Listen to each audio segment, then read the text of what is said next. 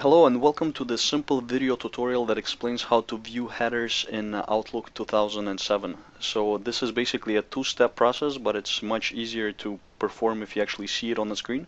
So here it is. The very first step is uh, we're going to open up Outlook uh, client and uh, we're going to locate the email which uh, you want to check the headers for. So we locate the email, we right click on it with the mouse and we scroll over to the message options tab. The headers are contained here where it says the internet headers. If you would like to analyze the headers, if you would like to get additional information on the headers, what I recommend is a website called ipdetective, ip-detective.info. On top there's a tab which invites you to check the email headers, which is going to give you additional information on the email headers, such as the uh, approximate location of the user. Thank you for watching.